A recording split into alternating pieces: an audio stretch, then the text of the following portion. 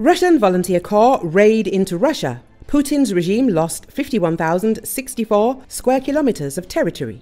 Russian volunteer troops fighting on the side of Ukraine continue to raid the Kursk and Belgorod regions. According to RBC Ukraine, the rebels managed to occupy some settlements near the Russian border and the grey zone has expanded during the week of fighting. Recall on March the 12th, it became known that the Russian border had been breached by fighters of the Freedom of Russia Legion, the Russian Volunteer Corps, and the Siberian Battalion who are fighting on the side of Ukraine. These volunteer battalions have entered Kursk and Belgorod regions where they continue to fight, including attacks on the Russian occupiers' military facilities. From the first day of the operation, the Russian Volunteer Corps, the Freedom of Russia Legion, and the Siberian Battalion claimed that they had managed to take control of Tyotkino in the Kursk region. But later, the volunteers clarified clarified that they had taken only a part of the village and that fighting was still going on. Currently, the grey zone in the area of Tyotkino covers 11.29 square kilometers. Then, the grey zone has covered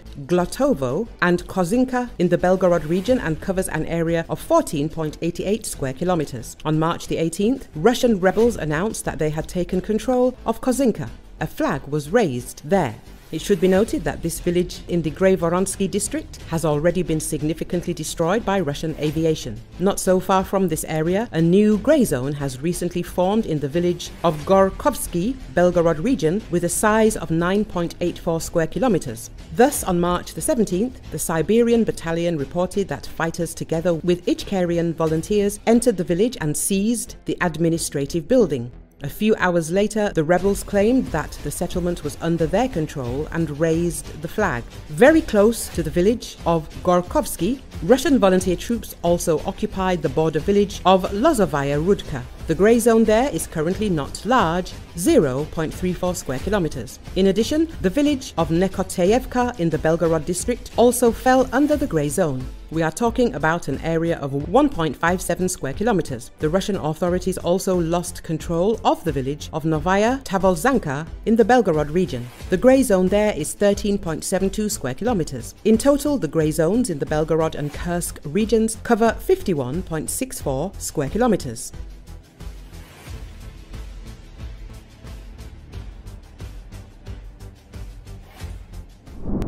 Freedom of Russia Legion volunteers vow to end Putin's reign in last election raid. Alexei Baranovsky, a volunteer from the Freedom of Russia Legion, commented on the raid that continues in the Belgorod and Kursk oblasts against the backdrop of the sham presidential elections in Russia during a Radio NV broadcast. We still have enough surprises, Baranovsky said. At the moment, the military leadership has not decided when this special liberation operation will be completed and whether it will be completed at all. Now, we are working according to the schedule. The last election day is in full swing. It's hard to announce yet, but the fighting is on and we are not going to stop there.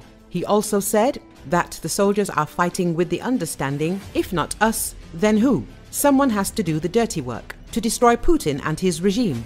It will not be Ukrainian soldiers. Ukraine will liberate its territory, return Crimea, Donbass, and all occupied territories within the 1991 borders. But for us, the war will not end. We will have to go on and finish off this bastard in its heart, in its lair, Asked whether Putin was afraid of them, the Freedom of Russia Legion fighter said, if they used to ignore all our raids, in any case, this is the first time Putin has commented twice, which means that it at least causes him some discomfort below the back. I don't know if this burning sensation will turn into fear sooner or later, it will. But the very fact that Putin is commenting is a sign that we are on the right track. Vladimir Vladimirovich, wait!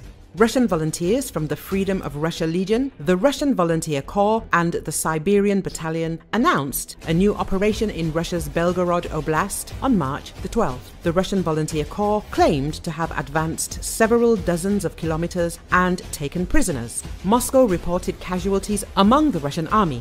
Russia's unlawful, staged presidential elections have been held over three days in occupied Ukrainian territories where occupation authorities have employed various tactics to prop up voter turnout.